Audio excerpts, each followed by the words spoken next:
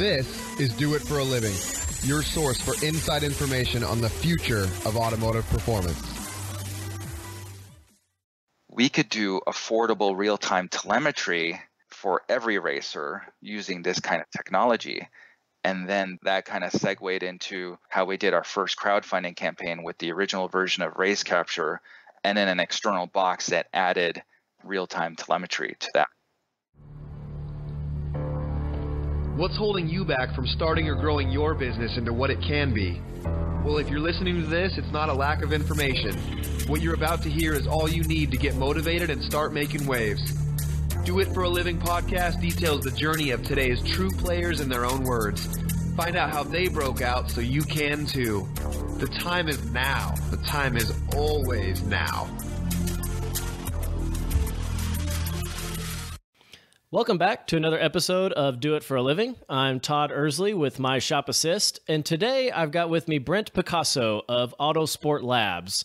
Um, they've been around for a while making all sorts of electronic components, and uh, I've kind of been following their Facebook stuff because they've come out with some really cool things that I think are going to be beneficial for kind of the, I guess it's kind of a grassroots racer guy wanting to be a little more professional with the uh, live telemetry data. So we've had several people on the podcast that are doing the endurance racing stuff, you know, and it's it's all just self-funded activities. So i think it you know that kind of data information to be able to send back at your wrl racing series um, to back to the home pits for you know instructions on pitting or slowing down or any of that kind of stuff is really cool. So i've been following them for a while and really excited to have brent on here to kind of tell us about um, his company and what they've been building. So brent how are you doing today Excellent. Thanks for having me on. Yeah, man. Again, I'm very excited to kind of hear your story. We have, you know, another one of these that we've never met in person, but we've been communicating back and forth trying to get this all set up. And so to get things started, you know, just kind of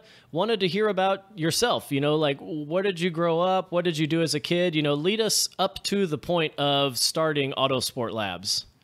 Oh, yeah.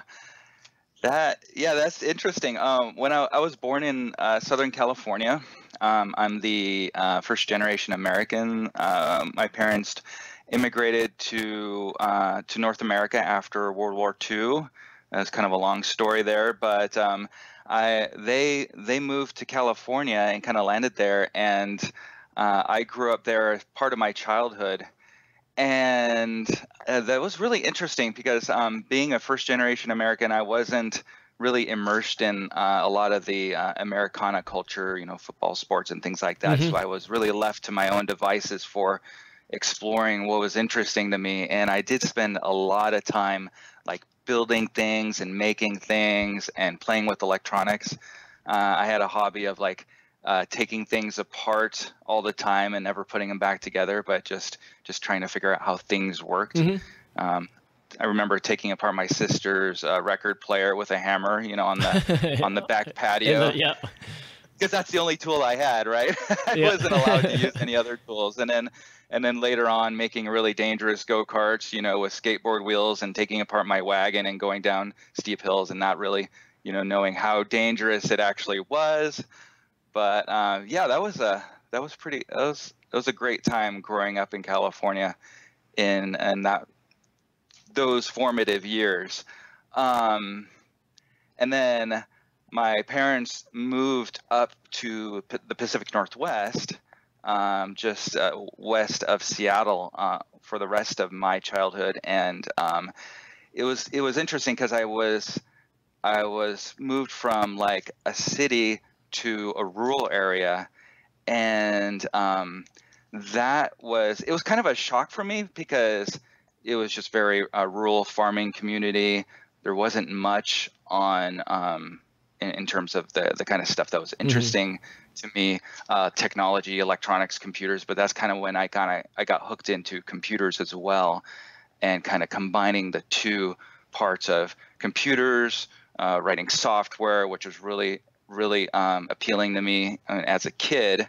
Uh, playing with my early, you know, Apple II computer, and like I, And, so is this like um, was this like in the I guess it'd be like the mid '80s?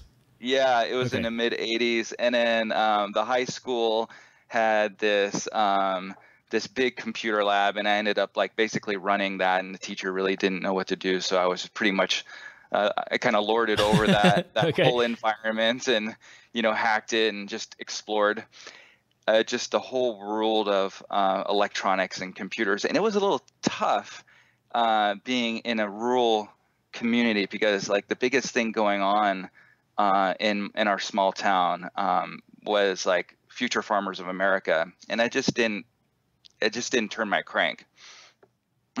yeah.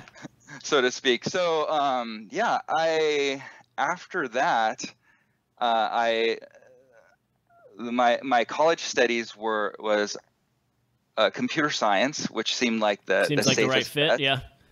Yeah, it seemed like the right fit um, uh, for a, a, career path, and um, and then shortly after that, I I met my wife and also co-founder of Autosport Labs. Um, much later on, of course, uh, and we moved to the Seattle area. Where okay, so you uh, did you I, stay in the Pacific Northwest to go to college? Yes. Okay. Yeah. Yeah, and then uh, when we moved to Seattle, we just really needed to get out of that small town because um, you know it's a great retirement community. It's beautiful uh, in a, on the what we call the Olympic Peninsula. But when we moved to Seattle, we knew that there were there were going to be uh, many more opportunities there. Okay. So, does she have a computer uh, science degree as well? No, she is in. Uh, she has a background of medical. Actually, when we're doing our day jobs which we like to call our day jobs. okay. in the in the before time. Okay. Yeah, so what did you do right out of college? So you guys moved, you know, over to Seattle. Did you guys get and you got jobs in your appropriate collegiate fields? No, it's kind of funny because as we were going to school and um, studying, we are we are also we are just kind of doing some uh, office administrative jobs, and then um, my wife was working um, east of Seattle, and she saw she, she saw a a job posting at Microsoft, and it was kind of like an intern intern position there, and I was like, oh god, you know that's like a big leap. yeah. And then it's yeah, we had just bought a house, and we took this. Uh, basically, it was just like d- jumping into the deep end of the pool because this intern, this contract position at Microsoft was was um, you know there's no guarantees. So I was like, well, whatever, you know, what, what's the worst that could happen? So I quit. I quit the um, I quit the stable job and uh, took a job at Microsoft uh, for about nine months, and then right after that, I I took a job with. Uh, it was uh, GE actually GE Capital okay. with the, they had an IT and uh, uh, IT group and also software engineering group, and that was pretty much the start of my my software engineering career.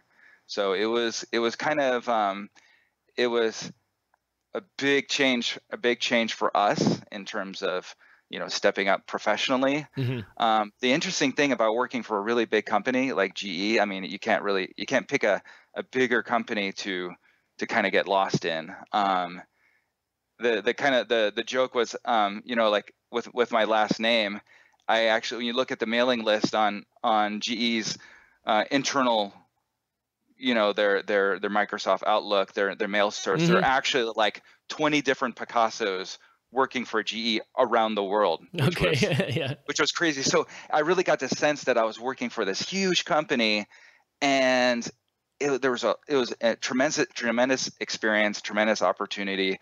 The manager I worked for uh, opened a lot of doors for me to kind of propel my career going forward but at the same time, I got this sense that if I didn't show up for a week or a month, it just wouldn't matter.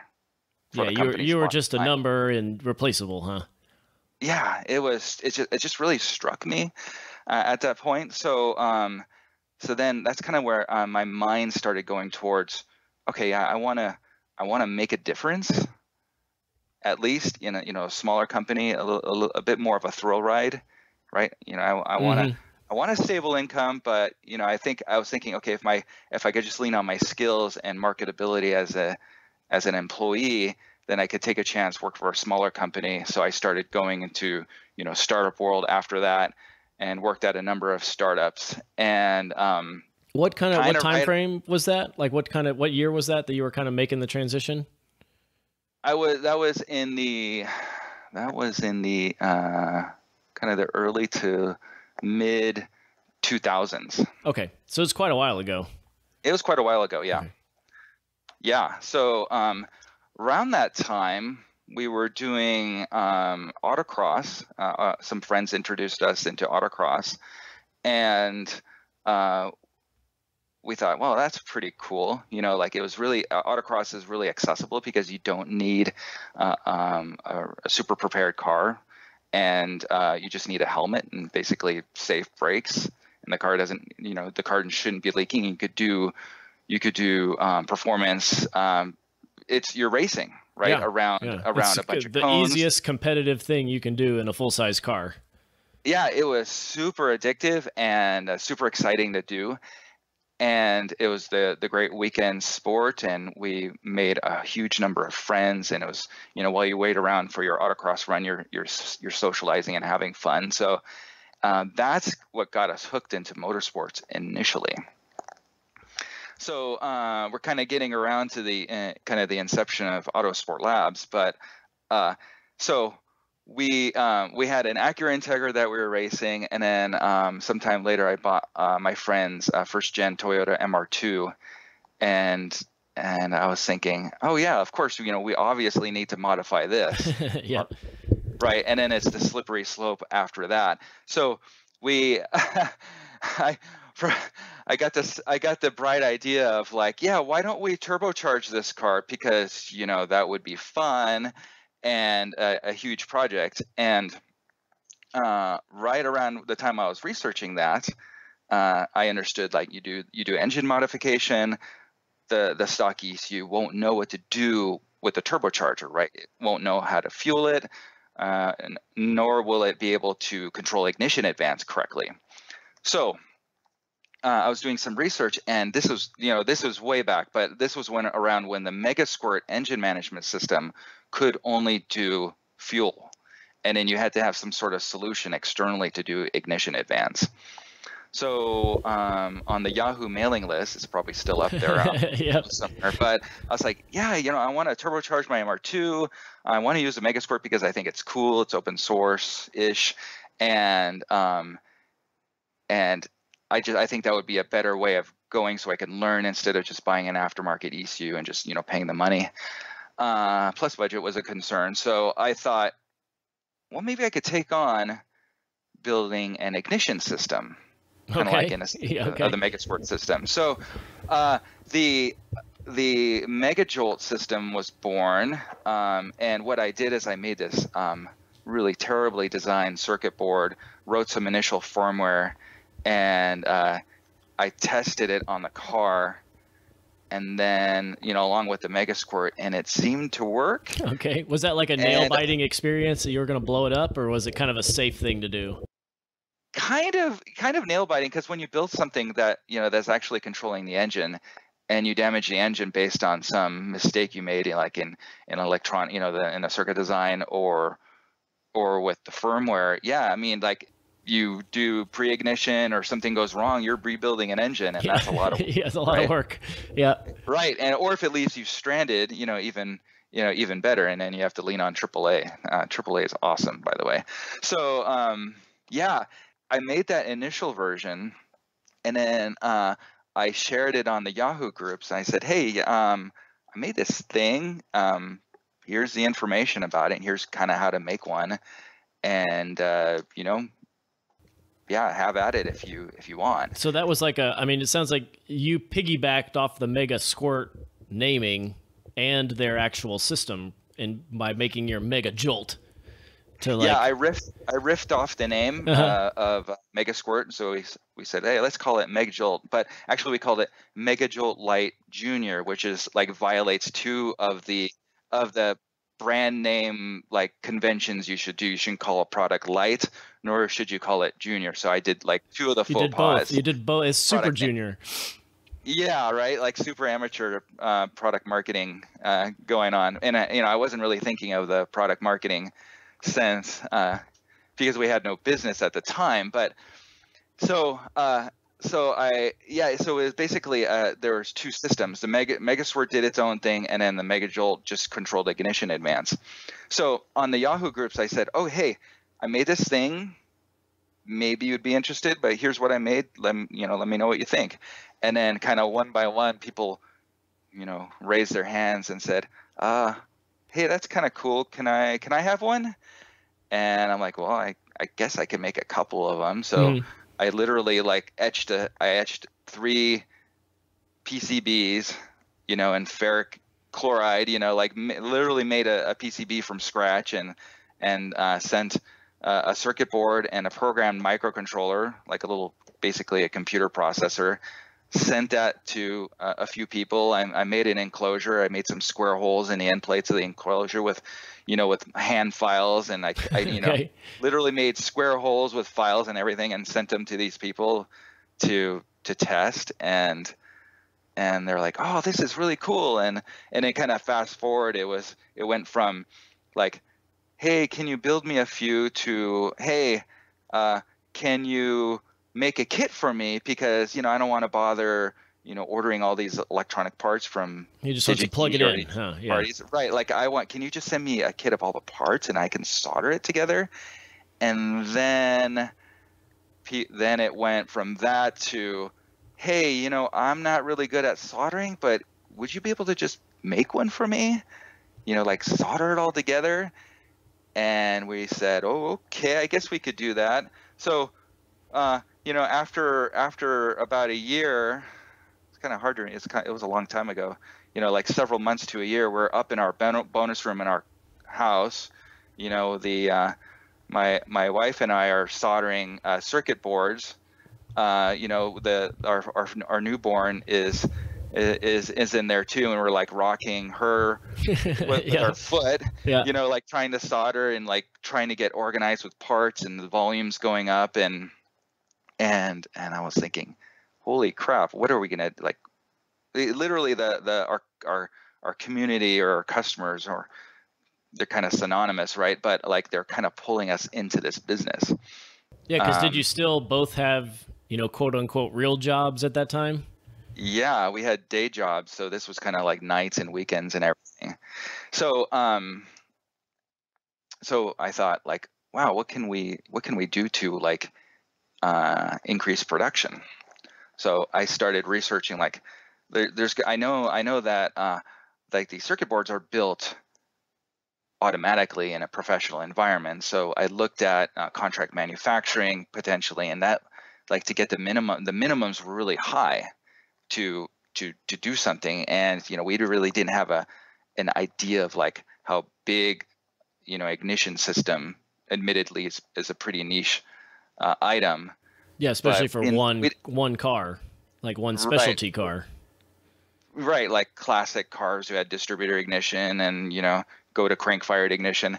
And um, so I started researching and found that um, wow, I could probably buy some electronic assembly equipment, possibly fairly cheaply, maybe affordably. I, I, I spent a few months researching and I ran across an ad for uh, a, a pick and place machine that seemed promising, but you know was kind of uncertain as to like is it running? What's the you know what's the uh, what's the um, you know the condition of it? So I ended up um, I bugged the guy so much who was selling the equipment. He said, "Fine, just pay for shipping, and if it works for you, then you can pay me."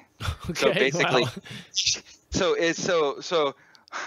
I spent you know five hundred dollars shipping on a pallet. Showed up at Estes Freight Line, you know, at their depot, and it's this thirteen hundred pound, you know, four foot by four foot square piece of equipment uh, sitting on a pallet, and all I had was our race car trailer and uh, I was like, they put the forklift on there, and then we we bring it home, and I literally back the trailer into our garage, and I'm like, holy, oh crap, how are we gonna get this thing off, off? there? yeah, how are we gonna get this thing off the trailer? And um, so we push the we push it back. we like pulled it off the trailer, um, manually, you know, because it was sitting on the pallet, and then I had to drive slowly drive the trailer away out from underneath it, and then I had this giant piece of equipment sitting in our garage, and I'm like, great, now what? Oh my God, what have I done, right? So I spent some time getting the machine to work, and and then um, finding out, oh, okay, this thing does work. Uh, it looks like it can, you know, pick parts, and I spent a whole bunch of time tuning it and getting it to work, and then I realized, oh crap we need to get a whole bunch of other stuff like uh, we need a, a, a, reflow solder machine. So after the boards are assembled, you know, you have to you have to heat the boards up so the the solder melts. So that's part of the electronics. You you you put the parts on the board, then you solder the boards, and then and then you solder the bottom parts of the board after the top part top side of the board. And we ended up um, realizing that we needed a whole bunch of other equipment uh, additional equipment to to like make to it all work? Because was the first one just one that like put the parts where they're supposed to be? Is that what that like what that machine yeah. did? Yeah. It's a traditional like pick and place machine where it uses a vacuum nozzle where it picks the part off the reel and then puts it on the board and then just does that over and over again. Yep. Uh, and uh, you know when the when the machine worked well it was awesome. And then when you know when things went sideways, it went sideways at a high speed and just like just wrecked everything. right, right. It's so it, so there was a, a, often a lot of rework and a lot of uh, fixing and tuning and cursing and yeah. So um, what our garage looked like at one point was um, you know we had our our pick and place machine, we had uh, reflow, we had like our 220 volt outlet, which is maxed out with you know solder machines, a solder machine that needed 60 amp circuit, another one that oh, needed Jesus, 30 yeah. amp circuit. And then we had on the this is a over a slightly oversized two car garage. We had all of our equipment in one side, and then we had our four post lift in the other side with two race cars stacked on top of each other. Okay. so we were super cramped, and we realized, wow, this thing is kind of taking off, and around that time, we were kind of designing the next product, which was uh, Race Capture, the uh, data acquisition and telemetry system that we developed. And um, but we realized, you know, we need we need some commercial space. Uh, so we started researching commercial space, and we finally found a place that was uh, about it was it's pretty nice. It's about eight minutes away from home, in a uh, little industrial park, and uh, we moved every. We had this big moving weekend where everything moved over there, mm-hmm. and uh, that's where we're at right now.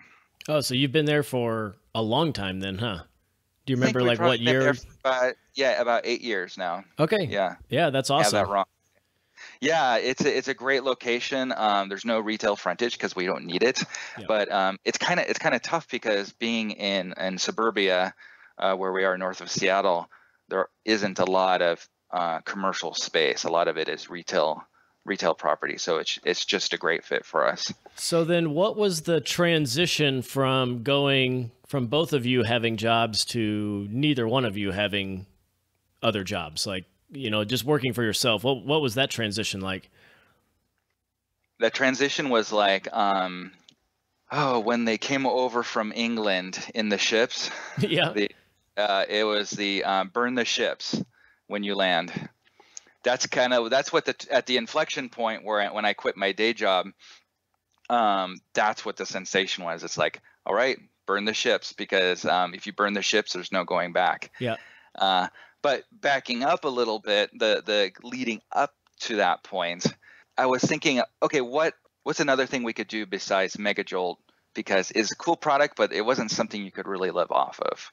Um, that's kind of what we understood. So uh, we thought, okay, there's a whole bunch of things we could do in motorsports, all sorts of different devices. And um, I thought, wow, you know, if we could create like an open system that's around collecting data from cars, wow, you there's the world is wide open. There's so many different things you could do with that. It's just it could be limitless, right? Mm-hmm. So that's when we developed the race capture system, which was just a by itself a a, a data acquisition system that was open source and we I started developing that and I kind of sat on it for a couple of years and um, a friend that I made in Boston, uh, Brian, he kind of poked me on Twitter and he says, "Hey, this is a cool project. Why don't you finish it?" And I was like, "Ah, crap. okay. Maybe I should." And, and he was, you know, uh, he says, "I'd like to help you work on it," and uh, he's super awesome and uh, very, you know, very skilled engineer, and uh, we we we became really good friends, and we he kind of got me to push it over the finish line, and it was kind of a, um, a formative a lesson for me that um, you know, like if, if, you've heard the term, the uh, perfect is the enemy of the good, because if you're trying to make something perfect, it'll never fit. Yeah, never, You'll never, never get it, it, done. Yep. Exactly.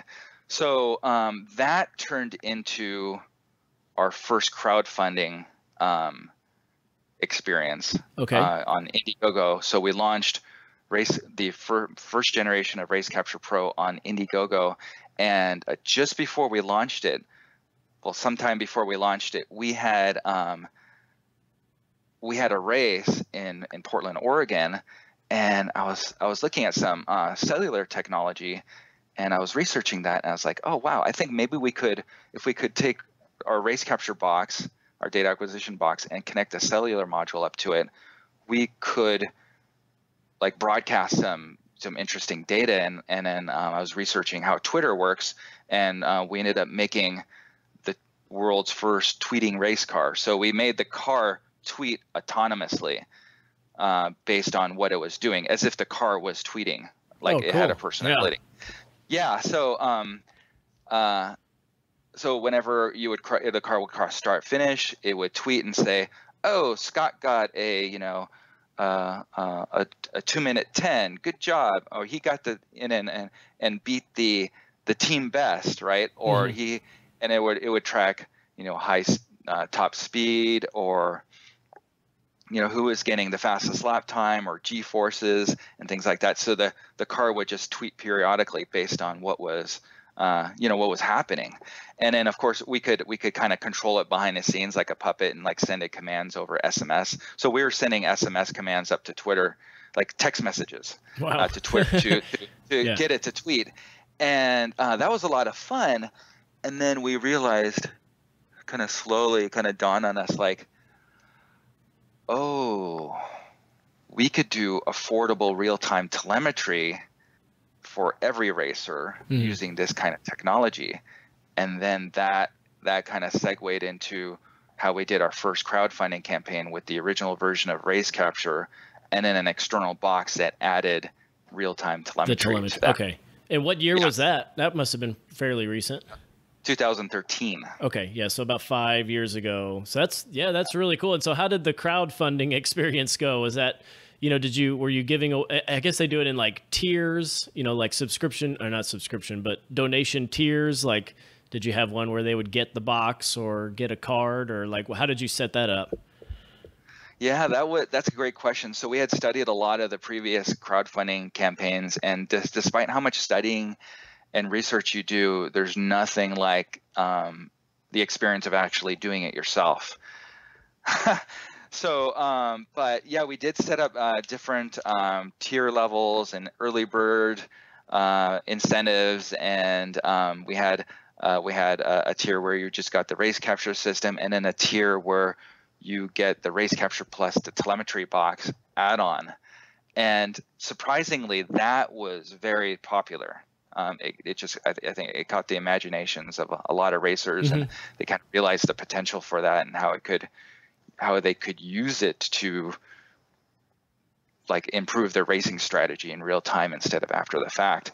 Uh, so that kind of surprised us, but um, the the whole crowdfunding, uh, the the experience of doing a crowdfunding campaign is is is ex- it's like an exciting and scary roller coaster.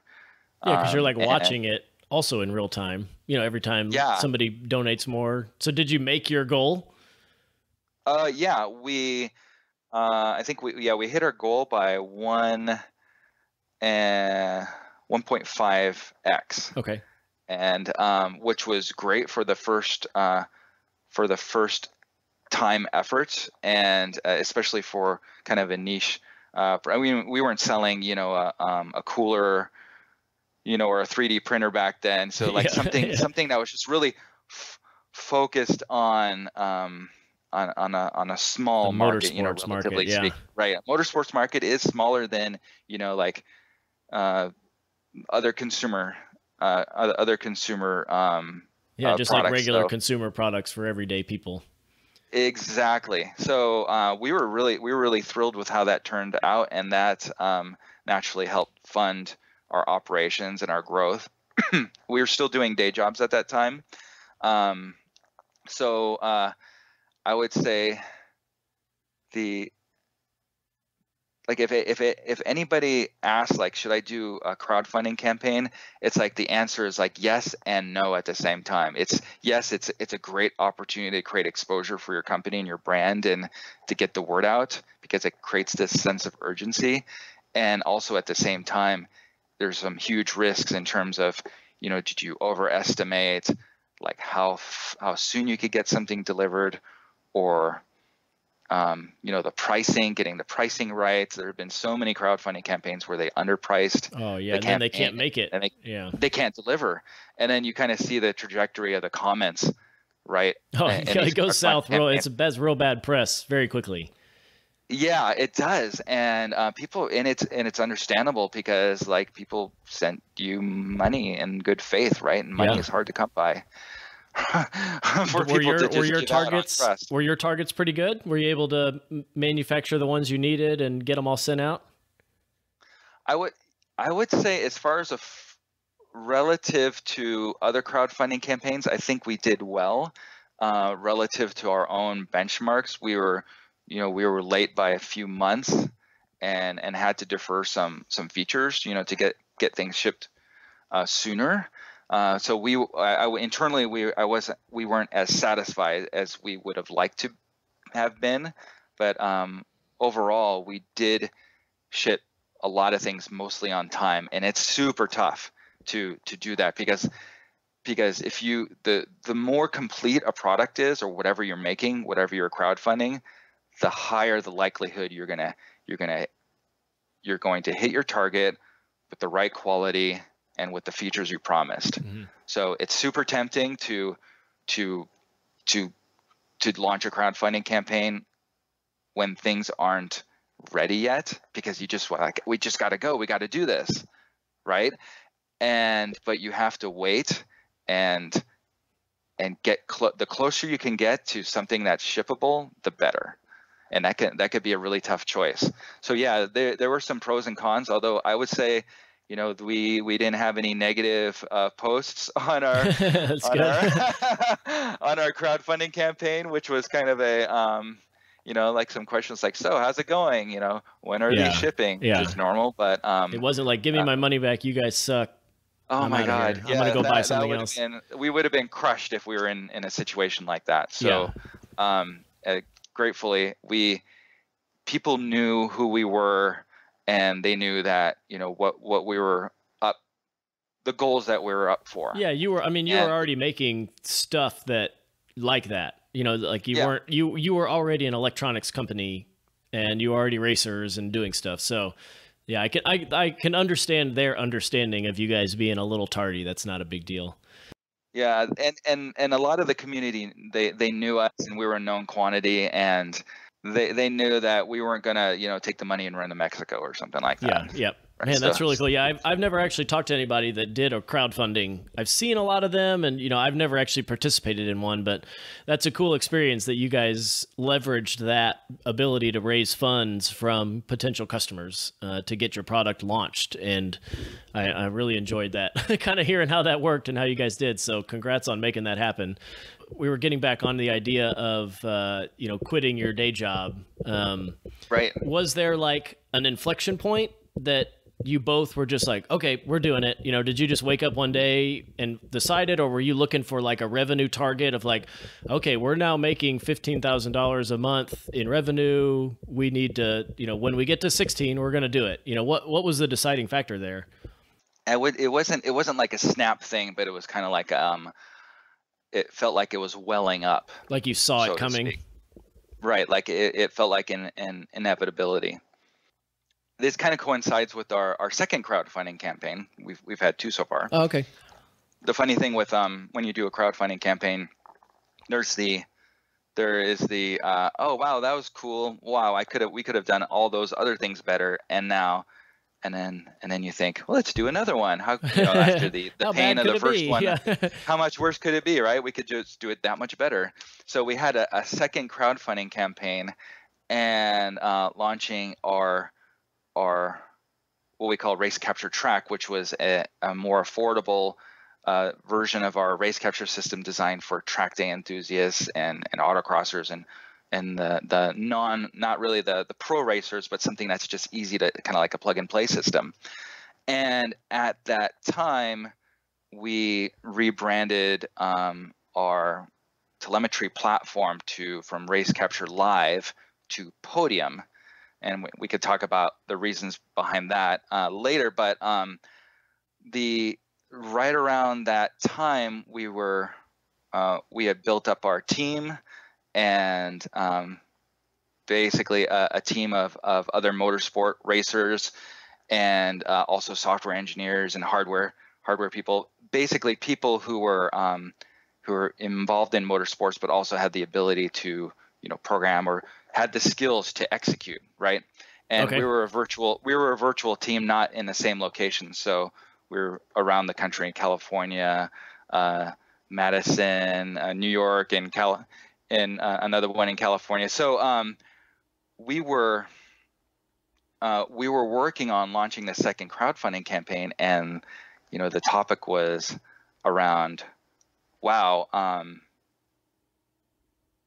i need to do this full time and we were i was still doing our our uh, i was still doing my day job and that was just getting harder and harder to kind of balance both because one was one was uh, you know autosport labs was demanding more and more of my attention because Yeah. of the, the the potential right? The the inertia just just being of me pushing and also getting pulled right at the same time.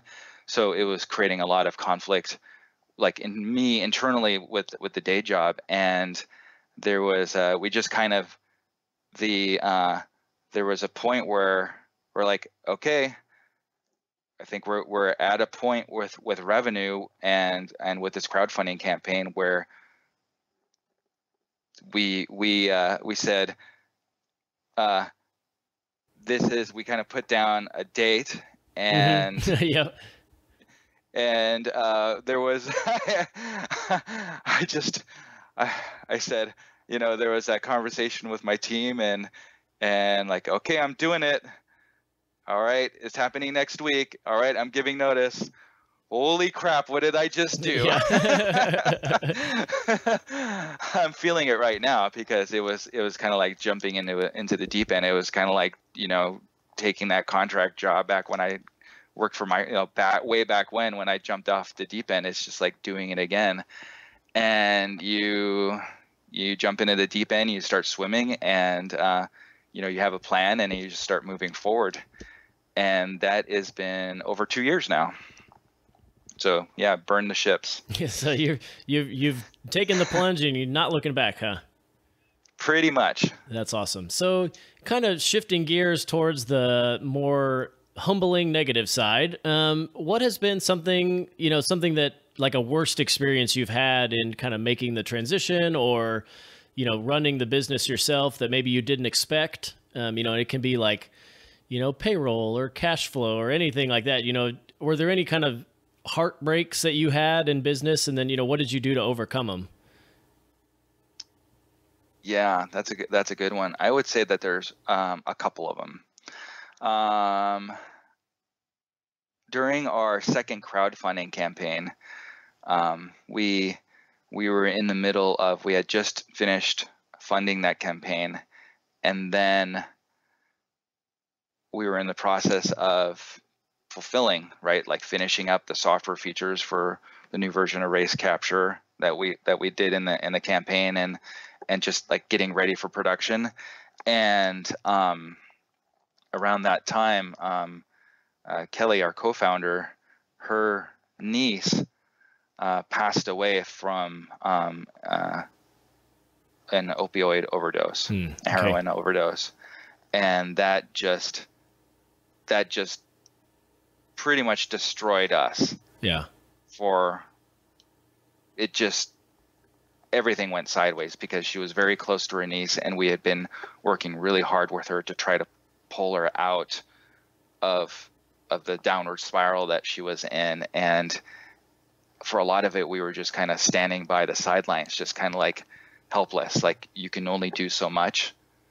And it was just and then it, we kind of sensed that it was an inevitable thing. We didn't know how or when but you know we were sitting at the at the table on a, on a Sunday and like everything's great. Monday's gonna be like we're gonna Monday will be cool. We're you know get to work on projects and we're having a nice Sunday evening. We get the call that she was in a hospital with an with an overdose and then just everything went sideways there. Mhm. um, so that threw our ability to execute on our crowdfunding campaign uh, completely sideways because it just it just just like Yeah, it's um, like a morale destroyed killer. our lives.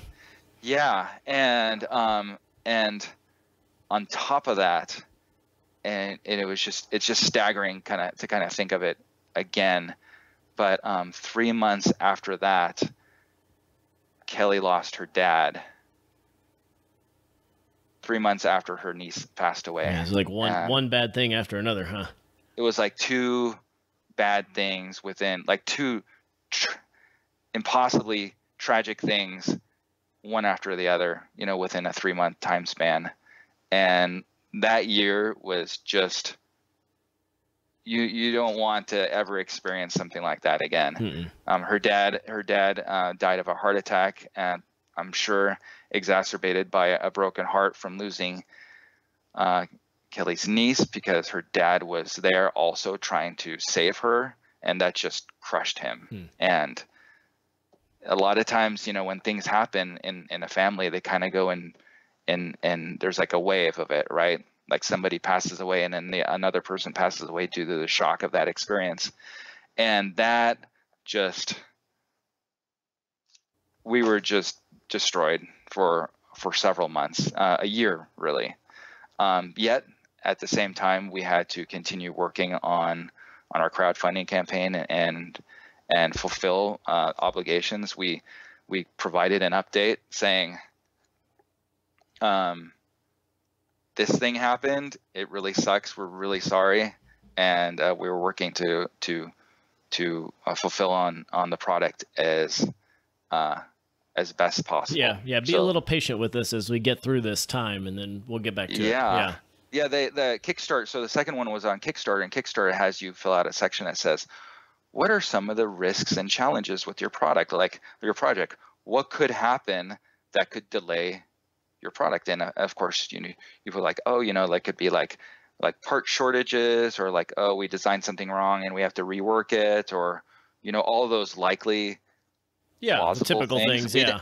we didn't like say like yeah with two of our closest family members could like die right and like how do you you can't plan You're for not that. going to plan for that. No, no. There's nothing you you, can't can plan do. for that right so that that's just that was really that was a really tough dark period for us um so that one was um that was that was a real tough one the other the other um the other experience and this was kind of a learning experience for us was that um, we were approached by a very a very uh, a large motorsports concern about they were interested in our products and they wanted to potentially you know do rebranding and and uh, possibly funding. And we got led down a path that ended up in a dead end uh, for several months.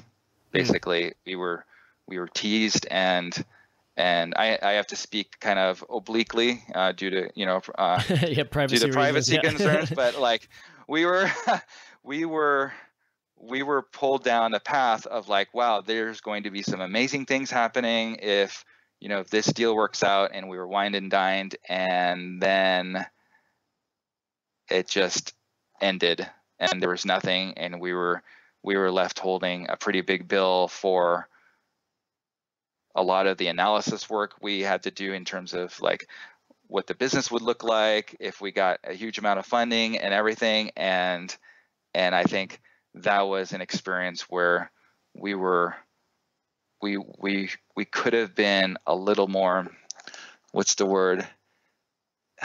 Like you have to have healthy skepticism right? Yeah a little more cautious with that one huh? Yeah it's like you don't you don't want to be you don't want to be so cautious that you preclude any any opportunity for you know whatever happening. Like opportunities that come by you don't want to just discount them out of hand but you have to look at everything very cautiously soberly. Uh, if that's not a very good word either but the, yeah. you you have to you have to look at things realistically. Yeah. Every opportunity realistically. And um, that uh, that has trained us plus other things when things get spun up like oh my god this is going to be amazing you know? And then it doesn't pan out. You kind of get to the point and this this will happen in every business because you know you'll have somebody saying yeah can you quote me a thousand of these?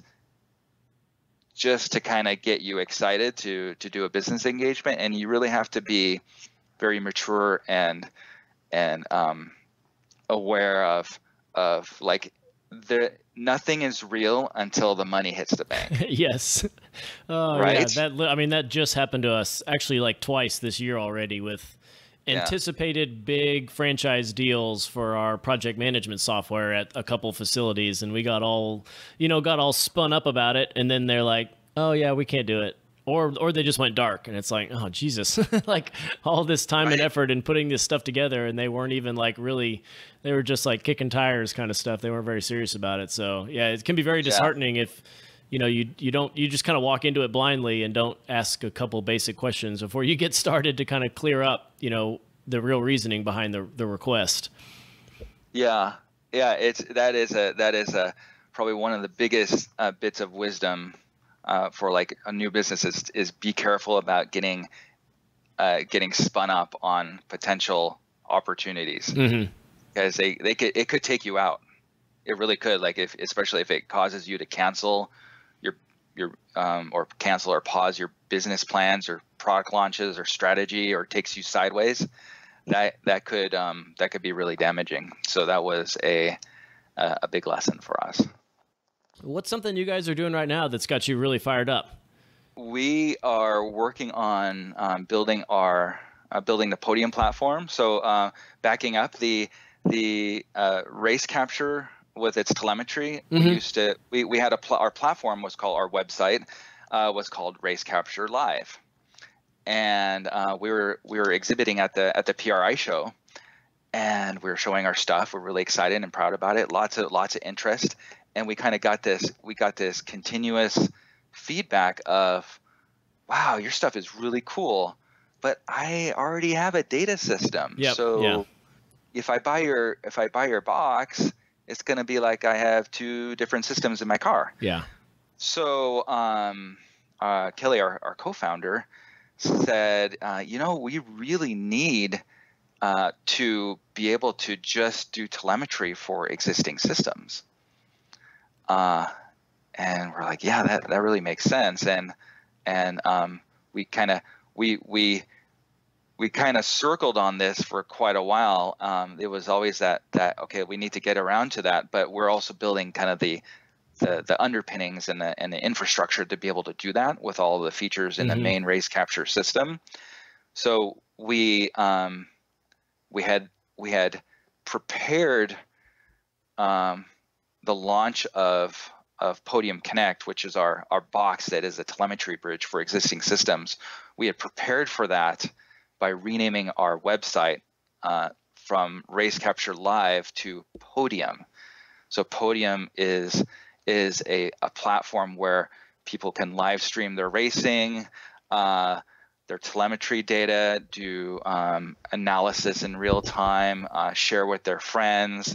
Uh, get race coaches to to uh, remotely be able to watch uh, the motorsports race car data and do uh, real-time coaching remotely or live uh, from the from the pits share with your friends everything but when we that whole world. Basically, it's kind of like the imagine the F1 app and like Strava or uh, Map My Fitness, like mm-hmm. those uh, athlete tracking programs. Kind of think of the those two mashed together into into one world. So kind of like an athlete tracking program, race car data race tracking program. Same difference. But you, right, and then but just a lot more sensors on the race car. Yep. Right. than than on your yeah, you can have athlete. a whole bunch a more. lot yeah. more. Right. And then the the fan engagement part of the F1 app because motorsports has fans, right? Mm-hmm. So we create so the podium the podium race capture live was renamed to podium set the stage for the launch of what we call podium connect. Podium connect is a small box whose sole purpose is to add telemetry to an existing aim motec race technology aem uh, a, a, race logic vbox or any other data system. Super cool. So if they've already got a dash and a in an ECU, they just can use your box to transmit the data back to the pits or to anybody. Exactly. Yep. And um, so it's marketed as a telemetry add-on for your existing investment, rather than a a like a, um, a like the race capture, which is to, like two different systems, yep. right? So, but the of course it's based on race capture technology, you know they say engineers are inherently lazy yeah. you don't want to reinvent the wheel yeah. so it's based on race capture technology just trimmed down with the the cellular modem the uh, the ability to connect up uh, two two different CAN buses and a serial uh, RS232 input so it's super flexible in terms of how it can uh, integrate with other systems and uh, so a lot of the work that we put in the race capture went into the ability to create Podium Connect. Wow, that's so super cool. Yeah, that, I'm excited to kind of see that. I haven't seen one of those in person, but I'm looking forward to working with some teams that are going to be using some of that stuff. And I think that's really cool technology for sure. Yeah, thank you. And the um, the the thing that uh, we are launching soon is uh, a complement to our web interface, but we're we are launching uh, a dedicated app for Podium, and that going back to the the uh, F1 app meets you know Strava or Map My Fitness, you'll be able to in your hand because right now you use a web browser to look at the podium uh-huh. data. So people will use a laptop, for example, in the pits uh, to to watch uh, what's going on, on with their race car and podium. Um, what you'll be able to do, so I'll paint the picture here. You will have in your hand, on your phone, or on your tablet, or even on your laptop, the ability to run the Podium app, where in your hand you could be at turn one watching the telemetry data from the car, or you could be in the bar with your friends after the race and then comparing your laps oh, yep, and your yep. data together against you know doing the bench racing right or you could put it on a bigger screen in the pits and with a, a touch screen interface you'll be able to it'd be like um, a futuristic movie where you'll be able to I forgot what the oh Minority Report is a classic, yeah. right? Right where they're using their hands and like manipulating Moving the data, around, so yeah. everything's like yeah touchscreen oriented. Uh, being able to it's just making it very accessible, like wherever you want to look at it, and give you a lot of freedom to to mess with it, huh? Exactly. So so we will have uh, a full experience in an app form for for Podium, and also bringing in uh, some of the social features we've been waiting to uh, to um, add, like uh, following other racers mm-hmm. and comparing lap easily and fluidly comparing uh, data between racers and and teams, and just the whole world around around being able to share easily uh, the motorsports experience, and also between fans and team members and race coaches. Awesome. Awesome. Well, on that cool announcement, let's uh, pause real quick for a break and then we'll be right back. We all know owning a shop is difficult, so we created My Shop Assist to help you manage the various jobs. Whether you run a machine shop, a performance tuning shop, build off road trucks, or even do powder coating, My Shop Assist can help you. It is completely online and will help you schedule the jobs, log time on each task, track parts orders, and take pictures of the work. You can even export your jobs from My Shop Assist into QuickBooks as invoices. So if you're interested to improve operations at your shop, check out myshopassist.com to start your 30-day free trial.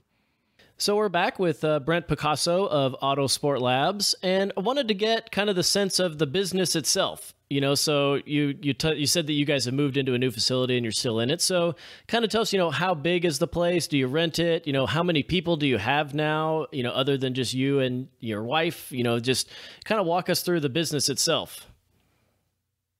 Yeah, we after after we moved out of our garage, we uh, we went into our our commercial space, and we're about uh, right now we're about 1,300 square feet, and part of it is uh, split between uh, electronics manufacturing uh, with our our uh, pick and place machines, solder machines on on one side, you know what we call our clean area, so to speak.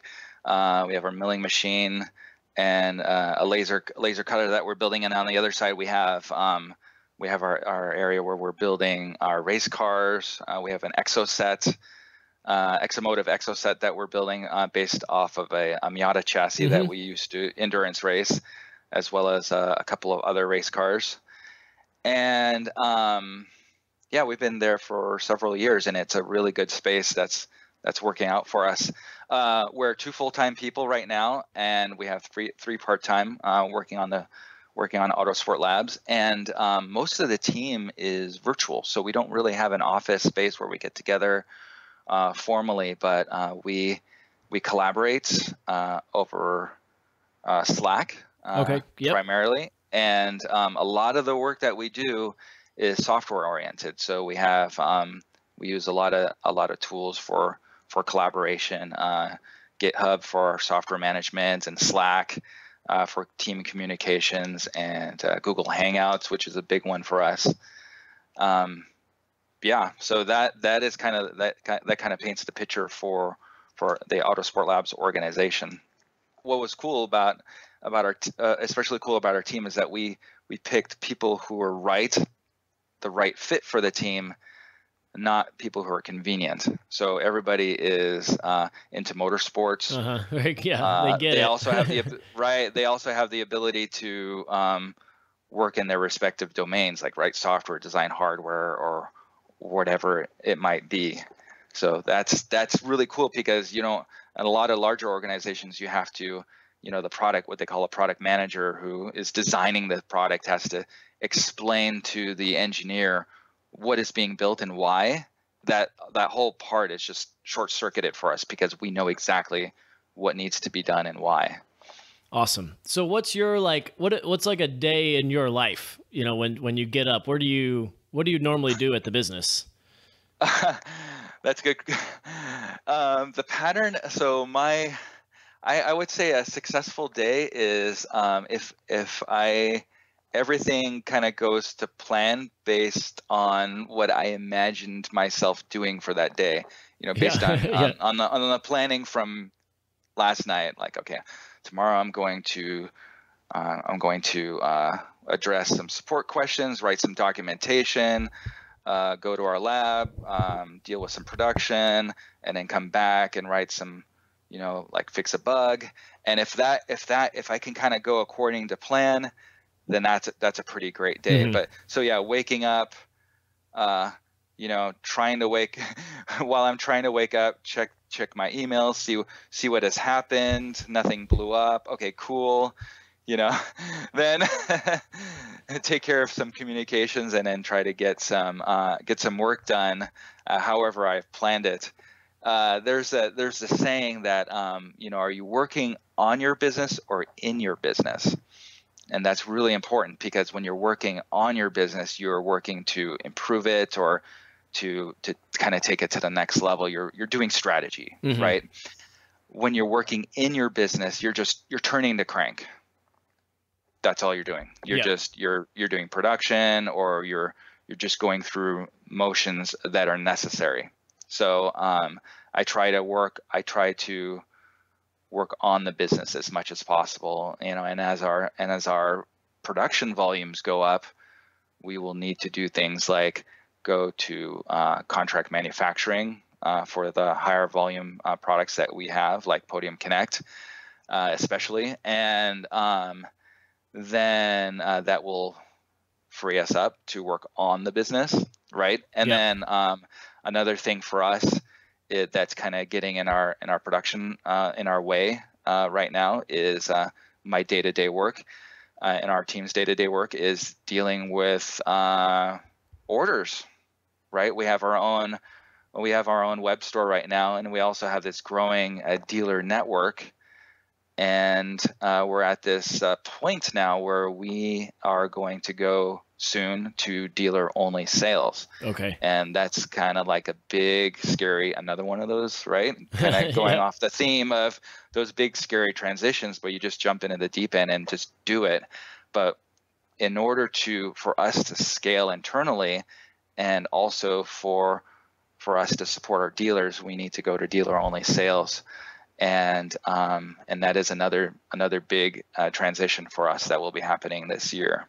So we are we almost have a complete uh, dealer network worldwide. Uh, we're bringing uh, Australia and um, even South Africa online. And once we have that, then we will be able to sell to any any part of the world, uh, and safely, if I call it that, yeah. safely turn off our uh, our online store and then just focus on dealers, which I think they will appreciate quite a bit, and they they deserve it. Yeah, definitely. That uh, that kind of generated a couple questions that I wanted to ask. So, you know, just in doing my pre-interview research, it looked like you guys are manufacturing everything in house, like your your boards, your soldering, your you know all these machines you've got. Your yep. is that correct? You were doing like all of it in your little shop, and that was just it, it's interesting to hear that because we had uh, we had a guest on a few weeks ago, uh, John Nguyen of TrackSpec Motorsports, and he from the very beginning was the exact opposite. He's like, I don't want to do anything. I want to, you know, I want to advertise the product and ship it out. you know, like that and yeah. design it. He didn't want to manufacture it. He didn't want to, you know, powder coat it. Like none of that. So you guys, you know, started off going down a different path of having full control over all that. And so it sounded like that was working, but now you mentioned that you're going to having somebody else manufacturing it for scale purposes. So um, yeah. are, are you going to keep everything for like R and D and small projects, or are you looking to kind of really just become a design and fulfillment company?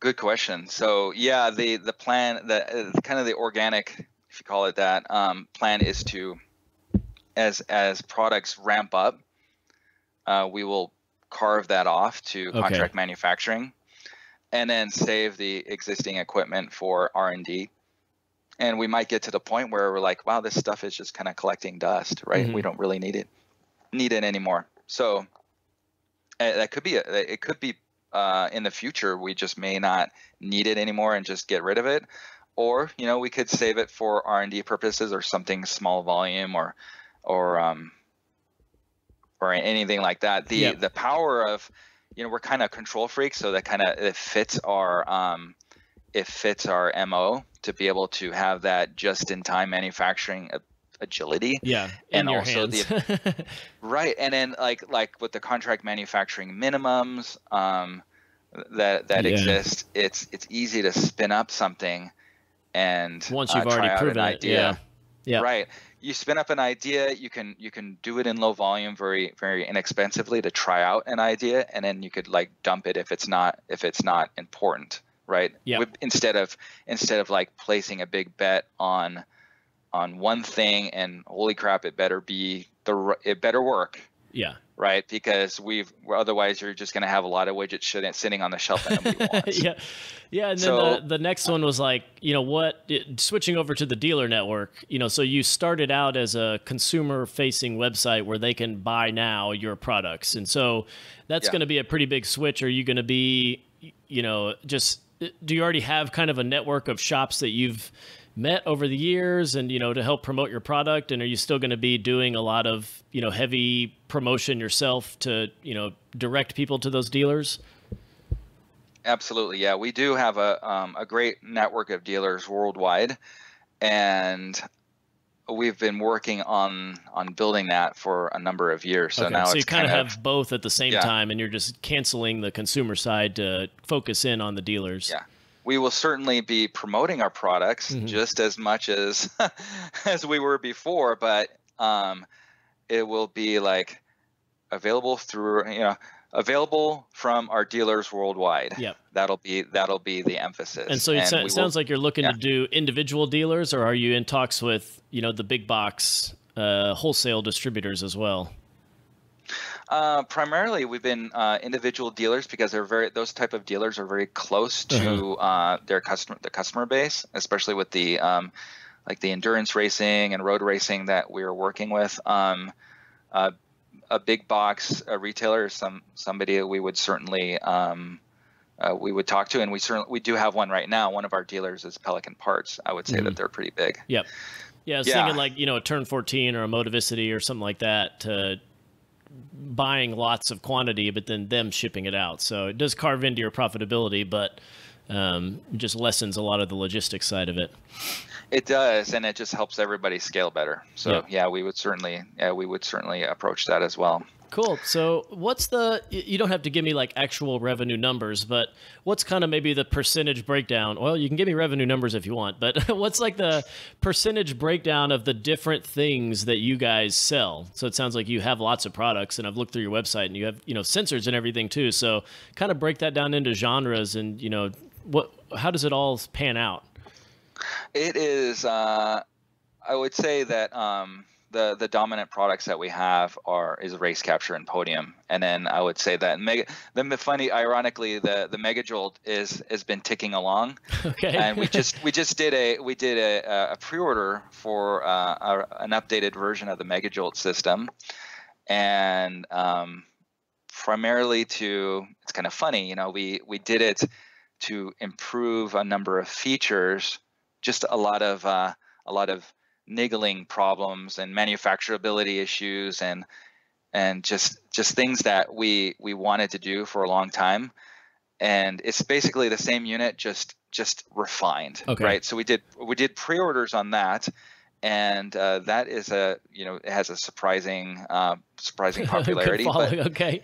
Well, because It Megasquirt does, just right? rebranded. I mean, they've rebranded as MS whatever now. So like, those Yep. companies is still going strong. So no reason you can't do the same thing with yours. Oh, absolutely. Like engine management is is huge. Our our focus is on race capture and podium, Uh-huh. specifically on podium. So, um, race capture and podium connect uh, dominate dominate our our sales naturally, and then um, the accessories that we sell are, are secondary. But as you can as you can probably figure out. So that is that is primarily what our uh, what our revenue focus is on right now. Are you Yeah. are you looking to? Are, are you going to keep offering all the products that you have, or are you going to kind of narrow it down? Because we were just having this conversation on the like the Do It for a Living community of shop owners, and it was just, you know, you you can blow up the number of SKUs you got, but if you know three things make ninety percent of your profit, why not just build those? You know, and we even had a guest of uh, Futura Trailers. Uh, that was several months ago, but he said he, they were making like fifty something different trailers, and now they make three. You know, and life is just a whole lot better. So, is that something you guys have considered, or is it still like might as well just make anything and everything that people need and want? there's a lot of wisdom in that sentiment, and we're we're moving in that uh, direction as well. So um, what we'll be doing is uh, when we transition to dealer only sales, we'll be condensing a lot of our individual items, Mhm. especially sensors, uh, into kits Okay. so that like just here's a kit that has you know two temperature sensors a pressure sensor and then a couple of accessories into a bundled kit Hmm. that we could sell as a as a single SKU. Yeah, much Uh, easier. Yeah. We what we what we're what we'll be wanting from from our our dealer network is to like when we shut off our online store, we want to make sure that our customers, when they look at our list of dealers, is that they have a frustration free way of Yeah. buying yeah. right? Like, I need to buy a race capture with these accessories, and they click on one of the dealers. They need to be able to do that easily, or they'll give up, hmm right? And so we'll be uh, working with our dealers to make sure that their our customers' buying experience from them is at least as good as what we had Okay. ourselves. So. And on the flip side, we want to make we don't want to overwhelm our dealers with a huge number of SKUs. Yeah. So we'll be condensing our SKUs down, um, making them you know pretty sane, and then um, you know dropping other products that just don't fit anymore um, Wow. Yep. for uh, for what we're doing, and also yeah, like uh, like what the your your thought your what you were saying about the the the trailer company. Um, you know, there are a lot of products, a lot of ideas that that we could execute very well on, like we have the technical expertise to do, but just doesn't fit our business model. And um, you have to be really careful not to sh- chase the, the, the the shiny object. yep. That's that's a real tough one, but um, getting better at that. So what about like advertising? It sounds like the those crowdfundings were probably a pretty good source of advertising for you. What what have you found to be the best way to spread the word about your products? Is it I mean in my head it's just it would be going to races and showing people, but you know what what have you found works best? Going to races is very powerful. Um, it's it's a um, it is also a, a, tremendous time commitment and cost commitment for travel, mm-hmm. and it interrupts it basically you you're you know you're sending your core people there right? And it everything stops. Yep. from the point that you start preparing for the race to when you you're at the race and then recovering after that uh, it is an interruption in in your work. And and at the same time on the heels of coming coming back from that event you realize wow that was really powerful. We should do more of those yeah. So it's there's kind of a double-edged sword there.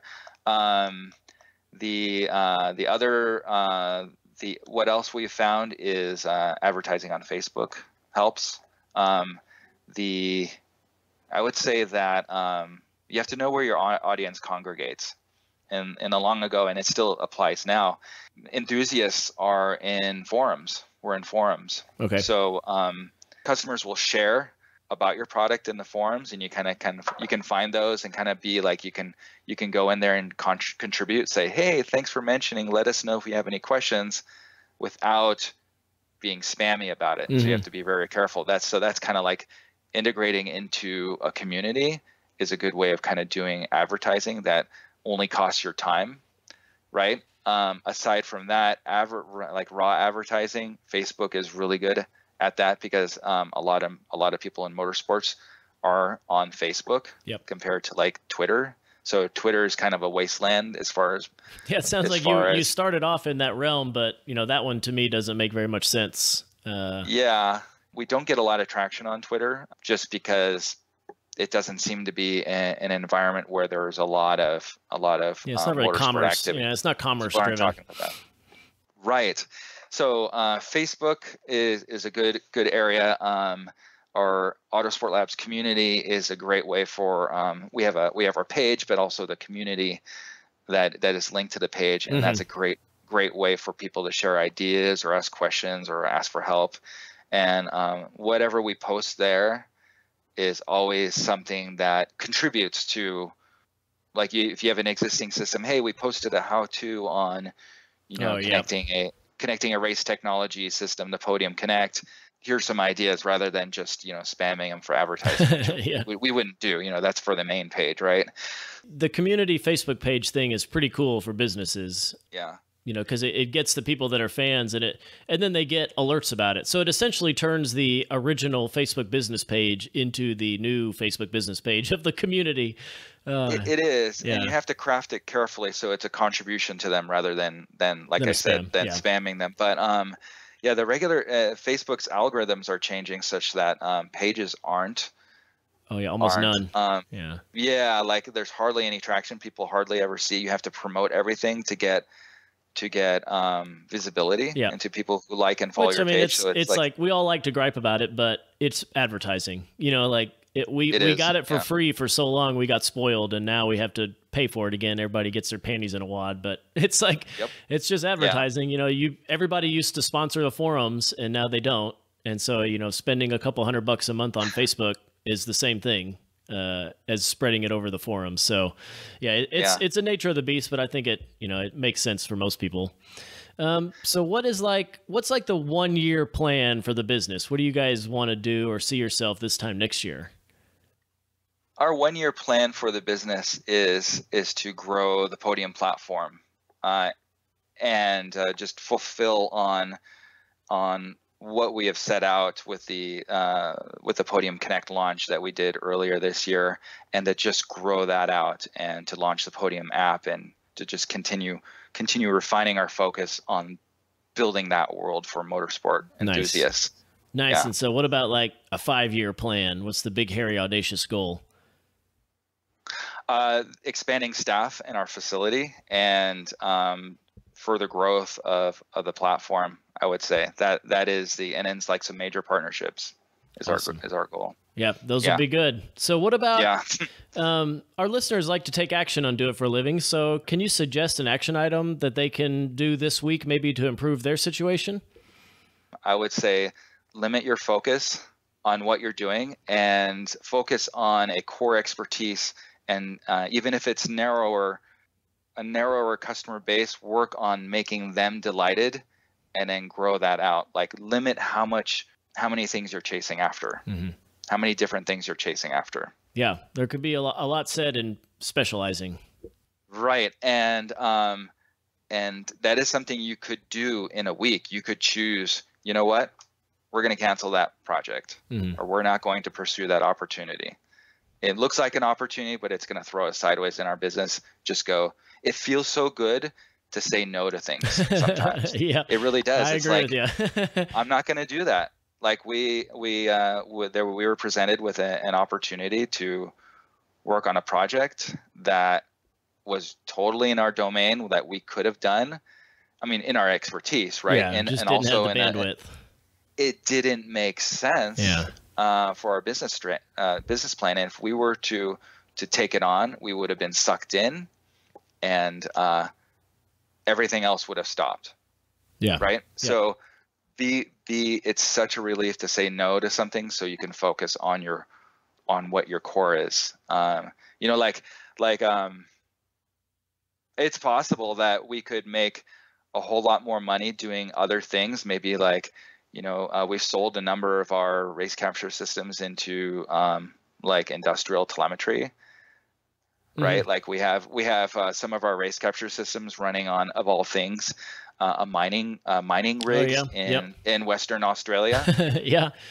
Right. Like they makes like, sense. yeah, need... we need to know what the machines are doing. Okay, here you go. Right. And uh, there have been some cases where, like, wow, we could uh, we could just go straight you know straight into industrial telemetry. Maybe that'll make us more money. But we're passionate about motorsports mm-hmm. first, and we want to make this make this real. Yeah, you're not done um, with this um, one yet. yeah. So, and it, you know, it's like, and also we're we're kind of like if you watch the video of our second crowdfunding campaign, it's kind of funny, but you know, there've been uh, around that time there were a lot of apps around uh, like tracking your teenagers to make sure. Um, oh yeah, they weren't speeding uh, or doing that. They're stuff, not yeah. speeding, or they're you know they're geofencing and and you know responsible driving and fuel efficient driving and and in our in our crowd crowd the beginning of our crowdfunding video we're like we're not doing these. We're not we're not tracking your kids or like we said fuck that you know? Yeah. Basically you know our our platform is about like you're not driving fast enough you're not burning enough gas yeah, or maybe the you other way. burn less gas or go faster. You know ours is about ours is about motorsports and you know, and just that. Yeah. So. Awesome. Awesome. Well, I've got kind of one little fun question here at the end that I always like to ask people. And uh, it's what is your like daily driver? Like typical vehicle that you take for your eight minute commute to get into the shop? What like the not a race car? I had it's it's an exercise in deferred gratification, and I'll explain why. Because I've had an E30 four door five speed E36 M3 oh, for like man. forever. I just bought and, one of those, and I absolutely love it. it's a great that the thing is is it's a great car. Yeah. It's had its its it, has been a problem child for a long time, but yeah, I kind of yeah. fixed everything on it. and you know, the heater core only blew up on my on my feet and flip flops a couple of times. oh, jeez. you know, you know, not too bad. You know, it's only left me stranded on a freeway once. You know, with the with the uh, the tank, the the hoses on the um, the plastic fittings on the radiator, and and uh, the head gasket only blew once, but I kind of exaggerate. It's actually been really reliable. It's a great car, and like I do, like the next car I want is the V8 M3, but I, I, I, we have to get to a certain part in the business. That'll you be know, your present, huh? Yeah. That'll be my gift. So yeah. like that's the joke about deferred gratification, which I seem to be very good at. well, you know, just to close out, um, if people are interested to find out more your company, where can they go online to kind of get more information? Yeah, if you want to learn about Podium, uh, the Podium platform, go to uh, point your web browser to podium.live. And if you want to look at uh, the uh, the race capture systems, just go to autosportlabs.com. And uh, if you're interested in buying, definitely look at our dealer list uh, worldwide. And uh, we are welcoming uh, dealers, additional dealers anywhere in the world. So definitely send us an email at sales at autosportlabs.com and we would love to talk to you. That's awesome, man. Yeah, I'm really excited to see, you know, the the future products you have coming out and get some experience with the ones that you've already got on the market. So, really appreciate you taking some time to talk with us today on the podcast and uh, wish you the best of luck moving forward. This was a ton of fun. Thank you so much. Thanks for listening to Do It for a Living. You can find out more about this guest, this show, and even details about what we just talked about at our website check out the Facebook page at facebook.com slash do it for a living and tell us who you want to hear from. And most importantly, subscribe to the podcast. Click subscribe. Do it now. Seriously. I'll wait while you grab your phone. Open up the podcast app, tap the subscribe button. When you subscribe, you help us gain momentum and attract more high level guests. Thanks for listening, and good luck.